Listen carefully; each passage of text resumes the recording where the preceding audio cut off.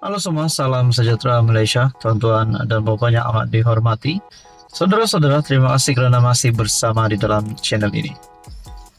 Berkaitan dengan satu lagi bekas Perdana Menteri ataupun pengerusi Perikatan Nasional hari ini, Tan Sri Muhyiddin Yassin.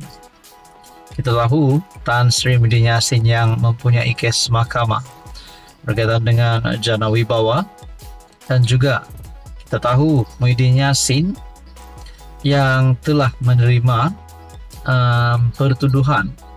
Nah, pada akhirnya menjadi persoalan adakah Muhyiddin Yassin akan menjadi banduan selepas ini? Itu menjadi persoalannya. Ditambahkan lagi dengan bebanannya di mana um, anak menantu Muhyiddin Yassin yang juga dicari oleh Interpol. Nah, saudara-saudara, adakah uh, Muhyiddin Yassin yang sedang menghadapi kes mahkamah ini akan melarikan diri.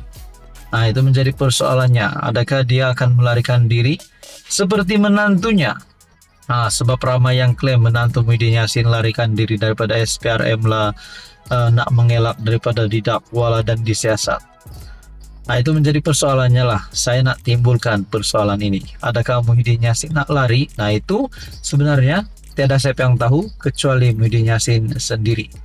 Dan pada akhirnya berkaitan dengan ini, saya melihat bahawa Muhyiddin dapat sementara pasport. Ha, ke mana Muhyiddin nak pergi? Adakah Muhyiddin nak lari? Ha, mungkin itu menjadi persoalannya. Tetapi untuk kali ini, kalau kita tanya adakah Muhyiddin lari? Ah, jawapannya tidak. Jawapannya tidak. Karena dikatakan di sini Muhyiddin dapat sementara pasport lawat kakak hidap kanser di Australia. Hakim Azura Alwi membenarkan pasport diserahkan kepada bekas Perdana Menteri itu menerusi peguamnya selepas pihak pendakwaan tidak membantah. Mahkamah Session membenarkan permohonan Muhyiddin Yassin mendapatkan pasport antarabangsanya buat sementara agar dia boleh melawat kakaknya yang menghidap kanser di Australia. Semoga dipermudahkan. Hakim Azura Alwi membenarkan pasport diserahkan kepada bekas Perdana Menteri itu menerusi peguamnya selepas tiada bantahan daripada pihak pendakwaan. Pasport akan diserahkan kepada wakil peguam Tang Jia Yen hari ini dan diserahkan kembali kepada mahkamah pada 28 Mei melalui beliau Tang katanya. Artikel ini pada 8 Mei. Nah, saudara-saudara, kalau ada yang cakap Muhyiddin Yassin nak larikan diri, nah itu uh, tidak benar, tidak benar sama sekali. Karena dikatakan di sini Muhyiddin Yassin melawat kakaknya hidup kanser di Australia.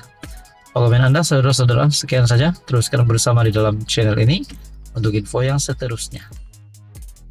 Halo semua, salam sejahtera Malaysia. Selamat datang ke channel Fels Lifestyle. Tuan-tuan bapaknya amat dihormati. Terima kasih kerana bersama di dalam channel ini. Saudara-saudara yang amat saya hormati semua, tuan-tuan dan puan-puan, mesti ada di antara anda-anda semua yang menonton video ini tertanya-tanya Adakah Mahathir sebenarnya memang bersalah? Ah, bersalah sebab apa? Sebab sebelum ini kita pernah mendengar kenyataan Anwar Ibrahim, Perdana Menteri, berkaitan dengan ada bekas pemimpin negara yang mencuri ataupun menyakau berbilion-bilion untuk kroni dan keluarga. Dan pada akhirnya Ramai yang berkata bahwa kenyataan itu adalah untuk Tun Mahathir. Bahkan Mahathir sendiri yang mengakui bahwa kenyataan PMX itu ditujukan kepada beliau. Nah, persoalannya, adakah memang Mahathir benar-benar bersalah? Bahkan kita juga tahu kedua-dua anak Mahathir yang terlibat dengan pengisytiharan harta.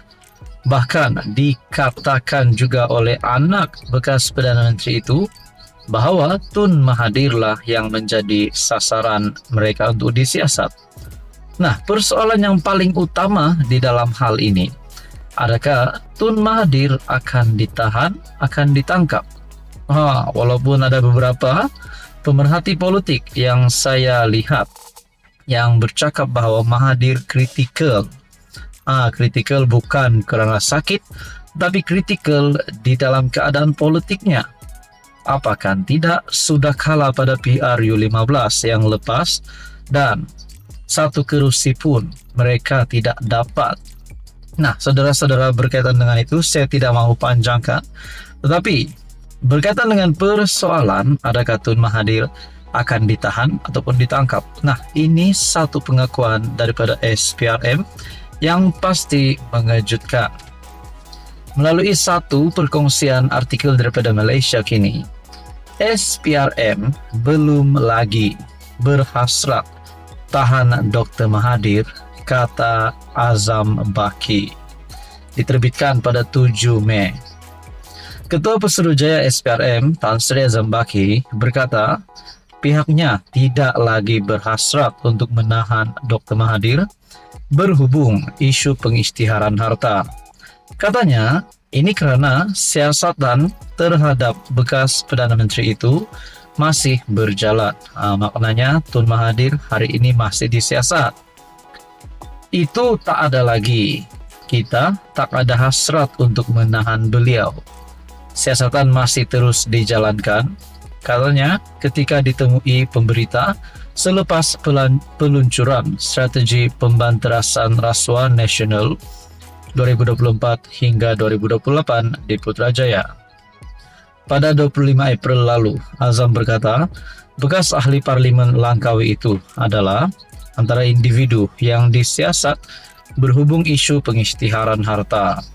Susulan penyiasatan itu Kedua-dua anaknya, Mirzan dan Mauzani, juga diberi notis untuk mengisytiharkan harta dalam tempo yang dinyatakan dalam notis di bawah Section 36 Akta SPRM 2009. Pada 18 Januari, SPRM meminta kedua-dua mereka mengisytiharkan segala aset alih dan tidak alih yang berada dalam pegangan sama ada di dalam atau di luar negara dalam tempo 30 hari dari tarik notis. Mogzani disiasat mengikut Akta SPRM 2009 dan Akta Pencegahan Pengubahan Uang Haram, Pencegahan Pembiayaan Keganasan dan Hasil daripada Aktiviti Haram 2001. Nah, saudara-saudara yang amat dihormati, mungkin um, persoalannya adalah adakah sedikit sebanyak selepas Mokzani dan Mirzan yang terlibat dengan pengisytiharan harta ini akan menurunkan ataupun akan memberikan kesan yang negatif kepada uh, perniagaan-perniagaan Tun Dr. Mahathir ataupun anaknya sendiri. Nah, adakah ini menjadi um, satu berita yang amat buruk sekiranya um, perkara ini boleh membawa kepada bankruptcy ataupun membawa kepada um, anak Mahathir bankrupt. Ah, kalaulah perkara ini benar, itu menjadi persoalannya lah. Mungkin ada yang melihat um, dua anak bekas PM ini yang diminta untuk mengisytiar harta. Adakah mereka melakukan kesalahan? Nah, mungkin itu boleh menjadi persoalannya. Adakah ini akan memberikan kesan yang negatif kepada anak Mahathir dan Mahathir sendiri? Jadi saudara-saudara, apa komen Anda berkaitan dengan isu ini? Sekian saja, teruskan bersama di dalam channel ini.